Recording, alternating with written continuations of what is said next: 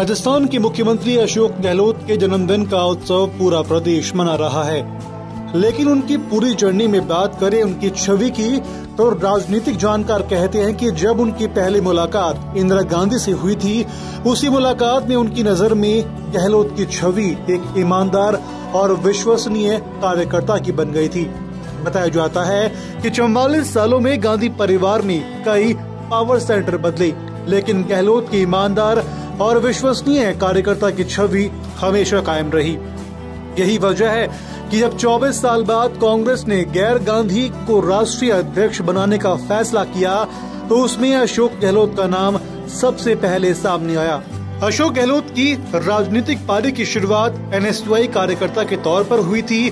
वहीं बीएससी और इकोनॉमिक्स में एमए करने के बाद गहलोत ने जय नारायण व्यास यूनिवर्सिटी में चुनाव के लिए लॉ में प्रवेश किया। अपनी बोलने की कला में पूरी तरह वे पारंगत नहीं होने के चलते लोगों ने गहलोत को वकालत नहीं करने की सलाह दी। मगर यूनिवर्सिटी का चुनाव लड़ने के लिए उन्होंने लॉ में प्रवेश किया और वो चुनाव हार गए। इसके बाद पहला विधानसभा चुनाव गहलोत ने 1977 में लड़ा, लेकिन यह चुनाव भी गहलोत हार गए। इस चुनाव को लड़ने के लिए गहलोत को अपनी मोटरसाइकिल तक बेचनी पड़ी थी।